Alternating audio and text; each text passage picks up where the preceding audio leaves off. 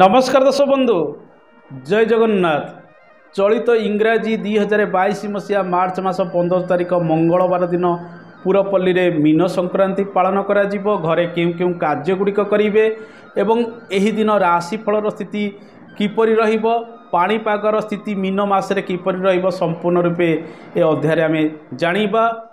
ମଙ୍ଗଳବାର ମାର୍ଚ୍ଚ ମାସ ପନ୍ଦର ତାରିଖ ଦିନ ଯେହେତୁ ମୀନ ସଂକ୍ରାନ୍ତି ରହୁଛି ଆପଣ ପ୍ରାତଃ ସ୍ନାନ କରିଦିଅନ୍ତୁ ସୂର୍ଯ୍ୟଦେବଙ୍କର ଉପାସନା କରନ୍ତୁ ସୂର୍ଯ୍ୟଦେବଙ୍କୁ ଜଳ ଅର୍ଘ୍ୟ ଦିଅନ୍ତୁ ଏବଂ ଏହି ଦିନ ଯେହେତୁ ମଙ୍ଗଳବାର ମଧ୍ୟ ରହୁଛି ଆପଣ ଶ୍ରୀ ହନୁମାନଙ୍କ ମନ୍ଦିରରେ ସିନ୍ଦୁର ଅର୍ପଣ କରନ୍ତୁ ଲାଲ ଫୁଲ ଅର୍ପଣ କରି ସେଠାରେ ଫଳ ଭୋଗ ଲଗାଇ ପିଲାମାନଙ୍କ ଗହଣରେ ବାଣ୍ଟି ଦିଅନ୍ତୁ ଏବଂ ଶ୍ରୀହରି ବିଷ୍ଣୁଙ୍କର ଉପାସନା କରନ୍ତୁ। ପ୍ରାତଃ ସମୟରୁ ଅର୍ଥାତ୍ ସୂର୍ଯ୍ୟ ଉଦୟ ଠାରୁ ମଧ୍ୟାହ୍ନ ପର୍ଯ୍ୟନ୍ତ ସଂକ୍ରାନ୍ତିର ପୁଣ୍ୟକାଳ ରହୁଥିବାରୁ ଏହି ସମୟ ମଧ୍ୟରେ ସଂକ୍ରାନ୍ତିର ହୋମ ଇତ୍ୟାଦି ଆପଣ କରିବା ସହିତ ଗ୍ରହ ବିପ୍ରଙ୍କୁ ଆପଣଙ୍କର ସକ୍ଷମ ଅନୁଯାୟୀ ଗୁଡ଼ ଗହମ ତମ୍ବା ପାତ୍ର ଲାଲ ବସ୍ତ୍ର ଇତ୍ୟାଦି ଆପଣ ଦେବେ। ଏହା ସହିତ ଭୋଜନ କରାଇ ଦକ୍ଷିଣା ମଧ୍ୟ ଯଦି ଦେଉଛନ୍ତି ରବି ଗ୍ରହଙ୍କର ଅଶୁଭ ଫଳ ଦୂରୀଭୂତ ହେବ ଆପଣଙ୍କ ଜୀବନରେ ସୁଖ ମଧ୍ୟ ପ୍ରାପ୍ତି ହେବ। କାରଣ ରବି ଗ୍ରହ ଅଶୁଭରେ ରହିଲେ ଶାରୀରିକ ପୀଡ଼ା ପ୍ରାପ୍ତି ହୋଇଥାଏ ମାନ ସମ୍ମାନ ହାନି ହୋଇଥାଏ ପିତୃ ସୁଖ କମି ରହିଥାଏ ଏହା ସହିତ ସରକାରୀ କାର୍ଯ୍ୟ ବା ସରକାରୀ ଚାକିରି କ୍ଷେତ୍ରରେ ମଧ୍ୟ ଅସଫଳତା ଅନେକ ସମୟରେ ଲାଗି ରହିଥାଏ। ତେଣୁ ଏହାର ଦୂରୀକରଣ ପାଇଁ ଆପଣ ସଂକ୍ରାନ୍ତି ଦିନ ଏସବୁ କାର୍ଯ୍ୟଗୁଡ଼ିକ କରିବା ଉଚିତ। ଏହି ଦିନ ରାଶିଚକ୍ରରେ ଅନେକ ପରିବର୍ତ୍ତନ ଆସିବ କାରଣ ରବିଙ୍କର ଚଳନ ମୀନ ରାଶିରେ ରହିବ ରବି ଏକ ଅଗ୍ନିତତ୍ଵର ଗ୍ରହ। ସେ ଜଳତତ୍ଵ ରାଶିରେ ଚଳନ କରିବେ। ଋତୁକାଳୀନ ପରିବର୍ତ୍ତନ ମଧ୍ୟ ଆସିବାର ସମ୍ଭାବନା ରହିଛି। ରବିଙ୍କର ଶୁଭ ଫଳ କିଛି ରାଶିରେ ଅଧିକ ବୃଦ୍ଧି ପାଇବ ଏବଂ ଏସବୁ ରାଶିରେ ରବି ସୁଧି ରହିବ। ଆଗାମୀ ଗୋଟେ ମାସ ପର୍ଯ୍ୟନ୍ତ ରବିଙ୍କର ଶୁଭ ସ୍ଥିତିରେ ଏ ରାଶି ଗୁଡ଼ିକ ରହିବେ। ଆସନ୍ତୁ ଜାଣିବା ସେ ରାଶି ଗୁଡ଼ିକ କ'ଣ ରହିଛି।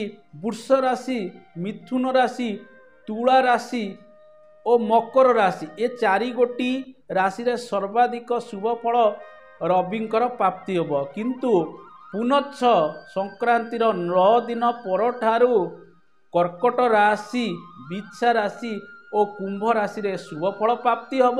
ଏ ରାଶିରେ ମଧ୍ୟ ରବି ସୁଧି ରହିବ। ତେଣୁ ରାଶିଚକ୍ରରେ ପରିବର୍ତ୍ତନ ଆସିବ। ଏ ରାଶିମାନଙ୍କରେ ଅନେକ କ୍ଷେତ୍ରରେ ସଫଳତା ସହିତ ମାନ ସମ୍ମାନ ବୃଦ୍ଧି ପାଇବ। ପଦପଦବୀ ବୃଦ୍ଧି ପାଇବା ସହିତ ଆର୍ଥିକ କ୍ଷେତ୍ରରେ ମଧ୍ୟ କିଛିଟା ଉନ୍ନତି ଆସିବାର ସମ୍ଭାବନା ଦେଖାଯିବ। ଦର୍ଶକ ବନ୍ଧୁ ଆସନ୍ତୁ ଜାଣିବା ମୀନ ମାସରେ ପାଣିପାଗର ସ୍ଥିତି କିପରି ରହିବ। ଆମେ ଯଦି ଦେଖିବା ମାର୍ଚ୍ଚ ମାସ ପନ୍ଦର ତାରିଖ ଠାରୁ ଏପ୍ରିଲ ମାସ ତେର ତାରିଖ ମଧ୍ୟରେ କିପରି ପାଣିପାଗର ସ୍ଥିତି ରହିବ।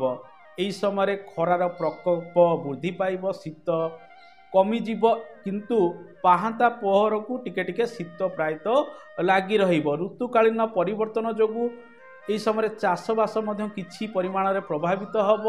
ଅର୍ଥାତ୍ କୀଟ ପତଙ୍ଗର ପ୍ରାଦୁର୍ଭାବ ଯୋଗୁଁ ଶସ୍ୟ ହାନି ହେବାର ମଧ୍ୟ ଯୋଗ ଏହି ସମୟରେ ରହିଛି। ପ୍ରାୟତଃ ଯଦି ପାଣିପାଗର ସ୍ଥିତି ଆମେ ଦେଖିବା ମାର୍ଚ୍ଚ ମାସ ପନ୍ଦର ତାରିଖ ଠାରୁ ମାର୍ଚ୍ଚ ମାସ କୋଡ଼ିଏ ତାରିଖ ମଧ୍ୟରେ ମାର୍ଚ୍ଚ ମାସ ପଚିଶ ତାରିଖ ଠାରୁ ମାର୍ଚ୍ଚ ମାସ ଏକତିରିଶ ତାରିଖ ମଧ୍ୟରେ ଅପ୍ରିଲ ମାସ ଦୁଇ ତାରିଖ ଠାରୁ ତିନି ତାରିଖ ମଧ୍ୟରେ ଅପ୍ରିଲ ମାସ ନଅ ତାରିଖ ଠାରୁ ତେର ତାରିଖ ମଧ୍ୟରେ କାଳ ବୈଶାଖୀ ସୃଷ୍ଟି ହୋଇ ଝଡ଼ ତୋଫାନ ହେବାର ସମ୍ଭାବନା ରହିଛି ଏବଂ କ୍ଷୟକ୍ଷତି ମଧ୍ୟ ହେବାର ସମ୍ଭାବନା ରହୁଥିବାରୁ ଆପଣ ସତର୍କ ରହିବେ। ଦର୍ଶକ ବନ୍ଧୁ ଏ ମାସରେ ଅହେତୁକ ମୂଲ୍ୟ ବୃଦ୍ଧି ପ୍ରତ୍ୟେକ ଦ୍ରବ୍ୟରେ ବଢ଼ିବାର ସମ୍ଭାବନା ମଧ୍ୟ ରହିଛି। ଜନ ଅସନ୍ତୋଷ ଏଥିପାଇଁ ମଧ୍ୟ ଲାଗି ରହିବ। ଆସନ୍ତୁ ଜାଣିବା ପଞ୍ଚାଙ୍ଗର ସ୍ଥିତି କିପରି ରହିବ ମାର୍ଚ୍ଚ ମାସ ପନ୍ଦର ତାରିଖ ମଙ୍ଗଳବାର ଦିନ। ଏହି ଦିନ କର୍କଟ ଚନ୍ଦ୍ର ପ୍ରାୟତଃ ରାତ୍ର ଏଗାରଟା ବାଜି ଛତିଶ ମିନିଟ୍ ପର୍ଯ୍ୟନ୍ତ ଭୋଗ ହେବ। ମଙ୍ଗଳବାର ରହୁଥିବାରୁ ମକର ରାଶିରେ ଘାତବାର ରହିବ। ଏବଂ ଘାତଚନ୍ଦ୍ର ନାସ୍ତି ରହିବ। ଅମୃତ ବେଳାର ସମୟ ଯଦି ଦେଖିବା ପ୍ରାତଃ ସମୟରୁ ଅର୍ଥାତ୍ ସୂର୍ଯ୍ୟ ଉଦୟ ଠାରୁ ଦିନ ଆଠଟା ବାଜି ଉଣେଇଶ ମିନିଟ୍ ପର୍ଯ୍ୟନ୍ତ ଏକ ଅମୃତ ବେଳା ରହିବ। ପୁନଶ୍ଚ ଦିବା ନଅଟା ବାଜି ପଞ୍ଚାବନ ମିନିଟ୍ ଠାରୁ ଦିବା ବାରଟା ବାଜି ଉଣେଇଶ ମିନିଟ୍ ପର୍ଯ୍ୟନ୍ତ ଆଉ ଏକ ଅମୃତ ବେଳା ରହିବ। ପୁନଛ ଦିବା ତିନିଟା ବାଜି ଏକତିରିଶ ମିନିଟ୍ ଠାରୁ ସନ୍ଧ୍ୟା ପାଞ୍ଚଟା ବାଜି ସାତ ମିନିଟ୍ ପର୍ଯ୍ୟନ୍ତ ଆଉ ଏକ ଅମୃତ ବେଳା ରହିବ। ରାହୁ କାଳର ସ୍ଥିତି ଯଦି ଦେଖିବା ଦିବା ଦୁଇଟା ବାଜି ପଞ୍ଚାବନ ମିନିଟ୍ ଠାରୁ ଦିବା ଚାରିଟା ବାଜି ପଚିଶ ମିନିଟ୍ ପର୍ଯ୍ୟନ୍ତ ରାହୁ କାଳ ରହୁଥିବାରୁ ଏହି ସମୟରେ କୌଣସି ଦୂର ସ୍ଥାନକୁ ଯାତ୍ରା ଆପଣ କରନ୍ତୁ ନାହିଁ ଏବଂ ଏହି ସମୟରେ କୌଣସି ଶୁଭ କାର୍ଯ୍ୟ ଗୁଡ଼ିକ ଆପଣ ଆରମ୍ଭ କରନ୍ତୁ ନାହିଁ। ଯଦି ଶୁଭ କାର୍ଯ୍ୟ ପୂର୍ବରୁ ଚାଲୁଛି ତାହା କଣ୍ଟିନ୍ୟୁ ରହିବ।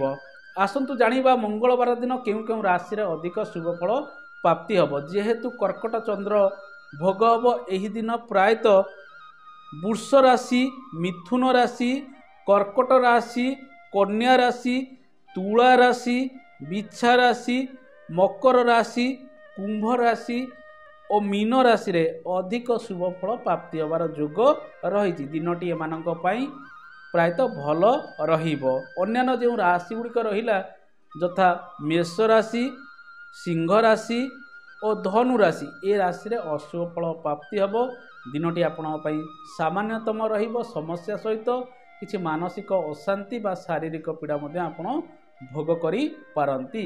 ତେଣୁ ଉପରୋକ୍ତ ପ୍ରତିକାର ଗୁଡ଼ିକ ଆପଣ କରିବା ଆବଶ୍ୟକ। ଦର୍ଶକ ବନ୍ଧୁ ଏ ତ ଥିଲା ମୀନ ସଂକ୍ରାନ୍ତିକୁ ନେଇ ଏକ ଛୋଟିଆ କାର୍ଯ୍ୟକ୍ରମଟିଏ। ଆଶା କରେ କାର୍ଯ୍ୟକ୍ରମଟି ଆପଣଙ୍କୁ ଭଲ ଲାଗିଥିବ। କାର୍ଯ୍ୟକ୍ରମ ସମ୍ପର୍କରେ ମତାମତ ଦେବେ। ଆଜି ତ ସମୟ ହେଇଗଲାଣି। ଆଜି ପାଇଁ ଏତିକି। ନମସ୍କାର। ଜୟ ଜଗନ୍ନାଥ। ଧନ୍ୟବାଦ।